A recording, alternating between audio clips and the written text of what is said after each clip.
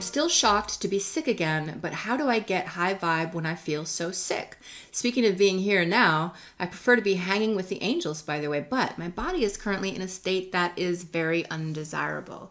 Let's go back to our lesson in which we talked about the three separate systems of the Trinity human, and that those systems are the mind, the body, and the spirit. Remember how I said that anything you do in one of the systems will impact the other system.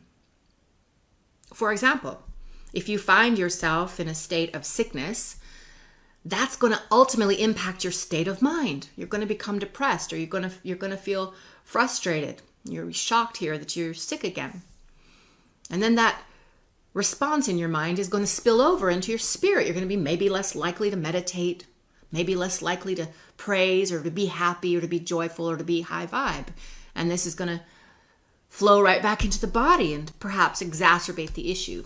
But just as these deficits in systems have a reverberating effect in the other systems, so too does any positive change made within any system have a positive reverberate spirit. Sorry, when I get going, I start stuttering. Many of you know this so too does any positive change made in any system have a reverberating effect in the other system. So if your physical body is ill right now, that's okay. We don't judge that. We don't fall into judgment of what the body is doing right now because the body is doing the very best that it can. Can we trust the body enough to say that? Of course we can. And because we can't work in the body to the degree that we'd like to right now because we're sick, let's choose to work in the spirit. Let's choose to work in the mind. Affirmations, validations, prayer, meditation, relationship review, all these other things that we could be doing will have a positive impact on the physical body. Doing those things, focusing on areas in those systems, will actually give you a better chance to kick out of this illness and to bring the physical body back into a state of alignment.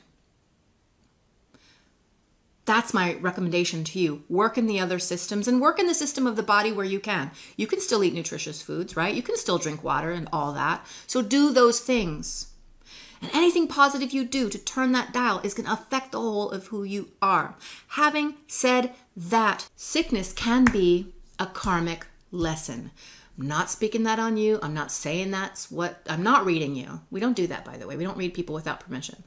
I'm not reading you, but I can say that sickness and suffering in certain ways can be a karmic lesson. When I say karmic, I am not speaking in terms of the Eastern understanding of karmic, uh, karma or karmic or karmic wheel. I don't subscribe to that philosophy or way of thinking. I am that I am. I'm not tied to a wheel, y'all. I'm not tied to a wheel. And I can be refined by fire in an instant by bringing in the light. I don't have to be a slave to patterns and things. I believe that.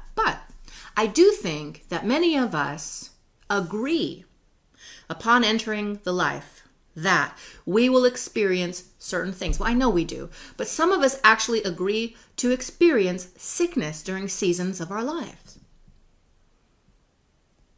The wrong way to react to that is to get frustrated and upset. The right way to react to that is to be with it. Abide with it. Be here now because it's teaching you something. It's teaching you something. What's it teaching you?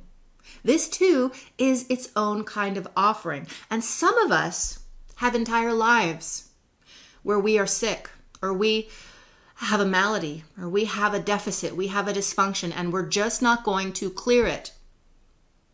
And we can spend that life railing against the reality of that and feeling, why me?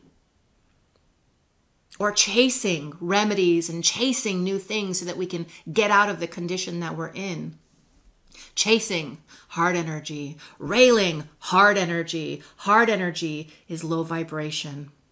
Instead, maybe we just be with it. Your body is this way for a reason. Why? Maybe through examining the sickness, we get to the shadow Anything appearing in the physical reality to include the physical body must first be created in the energy. Maybe something energetic exists inside of you that you haven't looked at yet, and the body is signaling you, hey, we are out of alignment because this thing is existing within you. But if you're spending your time being pissed off because you're sick, or if you're spending your time being upset that you're sick and shocked that you're sick, I'm not saying you're doing this all the time, but if that's where you're going with the sickness, then you're losing the beautiful lesson of it. Truly, you're, you're losing the beautiful lesson of it.